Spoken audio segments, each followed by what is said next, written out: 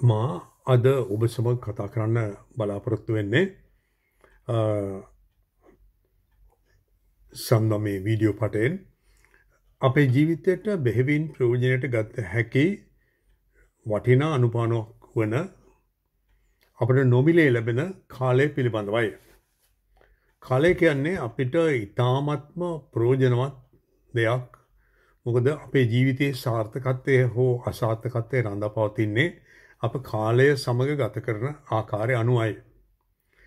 මා නිතර කියෙන් දෙයක් කාලයේ මුල් කොටස ළමාවිය ලදරුවිය කියන මේ දෙකත් එක්ක විශාල කාලයක් ගතවෙල වයසට ගියාම වයසකට බියපත්වෙහි තවත් අයගේ සරණ තුළ ජීවත්වීම නිසා ඒ මැද කොටසව තමයි අපට ප්‍රායගිකව ප්‍රෝජයට ගන්න පුළුවන් වෙද.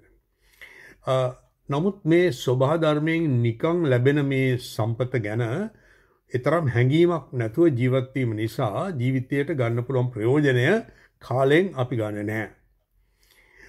කෙනෙක් කාලය විමර්ශනය කරමින් අපතේ යෑම් පිළිබඳව බලමින් තව කාලේ ප්‍රයෝජනවත්ව ලබාගත් හැකි ආකාරය දකිමින් ඒ ගැන උනන්දුවෙන් අවධානයක් යොමු කරන්නේ නැහැ. ඒ නිසා ලෝකයේ සෑම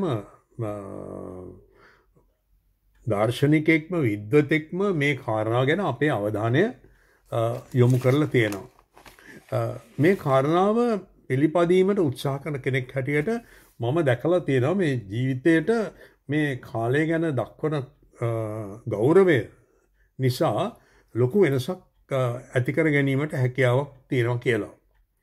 මම උත්සාහ කරන්නේ ඊළඟ පරම්පරාවට මේ නොකරන කෙනෙකුට ඒක ප්‍රෝජනය අරගන්න සලස්සන එකයි. කාලය මංකිවෝගේ මිලදී ගැනීමට නොහැකි නිසාත් මේ කාලය ප්‍රෝජනට අරගෙන දැන් කල්පන කර බලන් එය බුද්ධිමත්මක යොදාගත්තොත් තමන්ගේ තමන්ගේ මානසික සෞඛ්‍ය සඳහා අවධානයක් යොමු කරන්න පුළුවන්කම තියෙනවා. පවුලේ තමන්ගේ ආර්ථික සංවර්ධනය සඳහා යොදන්න පුළුවන්කම තියෙනවා.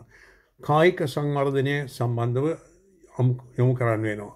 ප්‍රඥාව දැනුම දියුණු කර ගැනීමට කාලය තමයි අපිට පාවිච්චි කරන්නට ඉතුරු වෙන්නේ. සමාජ සම්බන්ධතාව ගොඩනගන්න අපට තියෙන්නේ කාලය කියන වස්තුවමයි. ඒකම සංචාරය කිරීමට අලුත්තැන් දැකීමට තියෙනෙත් මේ කාලෙම තමයි. එතකොට අපි ධනය හම්බ කරන්න ඕනනම් ඒ සඳහත් අපට යොදා ගැනීමට තියෙන්නේ කාලය තමයි. එතට බැලුවම මේ හැම දෙයක්ම කාලයට සම්බන්ධ වෙලා තියෙන දෙයක්. ඒ නිසා කප කාලය ගත කරනකොට බැලිය යුතු දැත්තමයි තමන්ගේ කාලය කොයි පැත්තරද නාස්ති වෙන්න කියලා. දින පතාම මේක බලනවනම් තමන්ගේ හරියට නිකං ජීවන ගමන යනකොට මුහුදු යන කප්පිත්තන් කෙනෙක් බයිනකලස්්ක දාලා බලලා යන මගහරියට බලන්න වගේ අපට බලන්න දන අපේ කාලේ අපත යනවද කියලා කාන්දු වෙනවද කියලා බලලා ඒක යොදාගත්තතින් අපේ සංවර්ධන ගමන ඉදිරියට ගිහිල්ලා පරිපූර්ණ කෙනෙක් හැටියට මේ යන්න පුළුවන්කමක් තිබෙනවා. ඕන මාංශයකින් තමන්තෝර තීරණය කරගන්න තමන්ගේ ස්ව කැමැත්තෙන් තීරණය කරගන්න අන්සකට යන්න මේක හුඟ බලපා. එනි යන ගොස් තින කරුණක් තමයි මිනිස්සන්ට බොහෝ කාලය පලදායික නොවන දේවල්වලට වැඩිපුරවාය වෙනවා. අනි දෙවල් ගතානුගතිකව ඒ කටයුත්තුවලට විතරක් යත් වෙනවා. ඒ මං උදාහනයකට කියන්නේ නැගිටිනවා රැකියාවට යනවා ගෙදරෙනවා ආහාර ගන්නවා නිදාගන්නවා. ඔය ඔය කරුණු තුන අතරේ දෝලනය වෙනවා. ඉලාන්ට යාළු මිත්‍රයෝ එක් එකතුවීමට එකතු කරනවන වෙලාව ගොඩක් හරිය රාත්‍රයේ කාලය හවස්වාගේ බොහෝසේ නාස්තිනමව පේනවා. නිවාඩු දවස්තිනනම් ඒක අධිකව නිදා නිවාඩුවට ගත කරන බව පේනවා. අනවශ්‍ය විදා ප්‍රමාණයක් අවශ්‍ය ප්‍රමාණයට වඩා නින්දට ගත කරන බව අපට පේනවා. එතර ඔය කරුණු අතරේ හොයල වන්නකොට බුද්ධිමත්ම දෙයක් කරන්න පුළුවන් කෙනෙකුට කාල කාල කාලය ගැන සංවර්ධනය සඳහා මං අර කලින් කිව්ව ඕන මංශයක් සඳහා වෙන් කරන්න පුළන් දෙයක් තමයි කලින් නිදාගෙන ගිහිල්ලා ඒ කියන්නේ රාත්‍රියේ වැඩ කරනවා කියන එක ඵලදායකත්වය අඩුයි කියන එක තමයි හොයාගෙන තියෙන්නේ.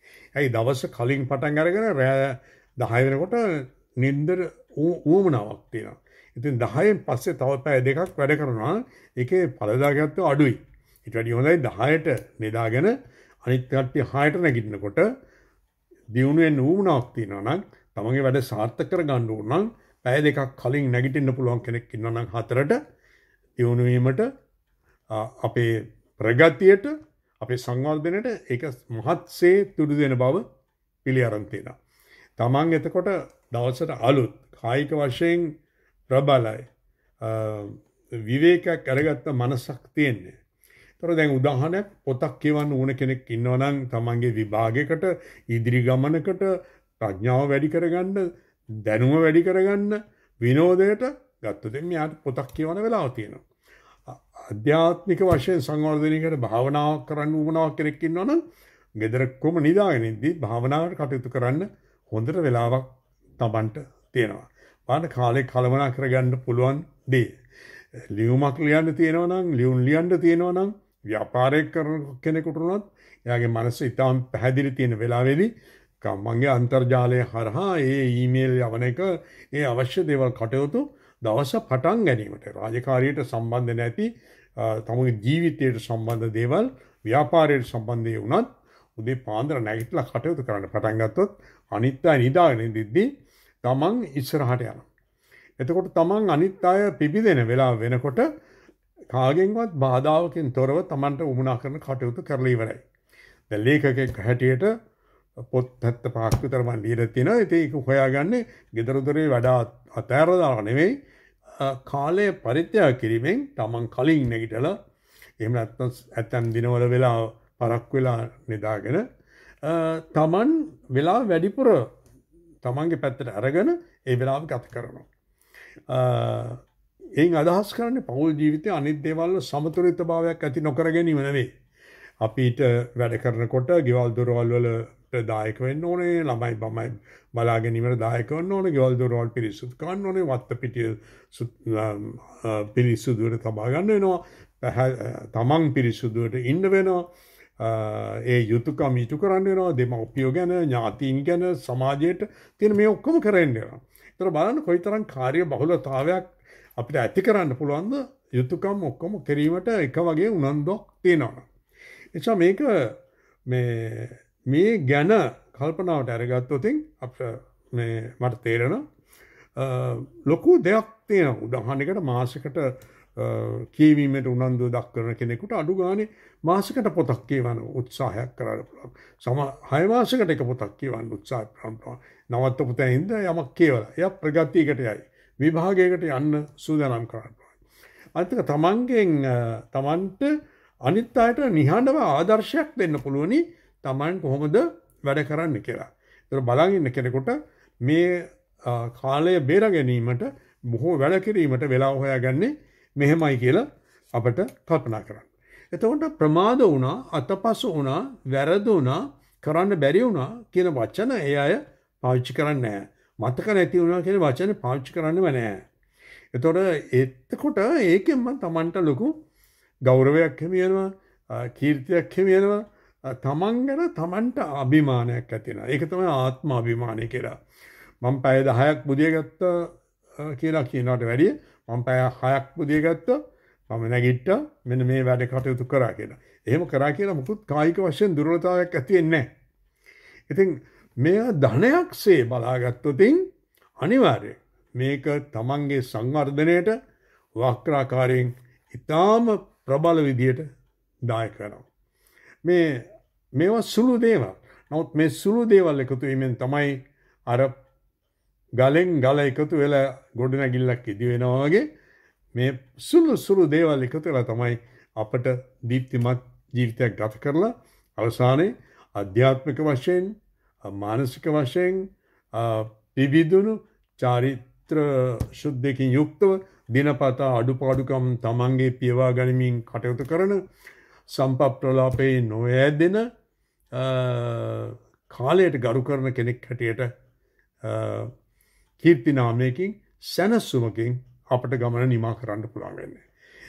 මංහිතන්න මේ අදහස ප්‍රායගික ක්‍රියා කරන කෙනෙක් හැටියටයි මම මේ ඔබට දෙන්න ඒ තියෙන ප්‍රතිඵල ඉතාම විශාලයි.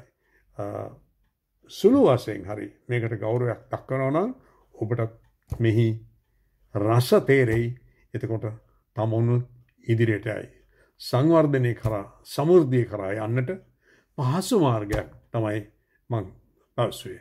පරිත්‍යාගයක්කින් තොරව කිසි දෙයක් ලෝකෙ සිද්ධ වෙන්න හැ. අපි මේ දේ කරමු. ජැස්්‍රී.